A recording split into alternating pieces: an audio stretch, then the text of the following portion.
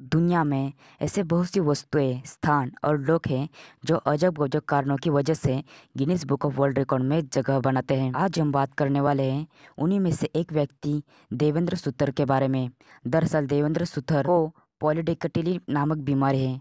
इसी बीमारी कारण उनके दोनों हाथों में चौदह उंगली और दोनों पैरों में चौदह उंगलियाँ हैं। इसके अलावा आपको जानकर हैरानी होगी कि उनके दोनों पैर आपस में चिपके हुए हैं। देवेंद्र की इसी अनोखेपन से उनका नाम गिनीज बुक वर्ल्ड रिकॉर्ड में दर्ज किया गया है। अगर आपको ये वीडियो अच्छी लगी तो वीडियो को ज़रूर लाइक करना और ऐसे अमेजिंग वीडियो के लिए हमारे चैनल को भी ज़रूर सब्सक्राइब करना।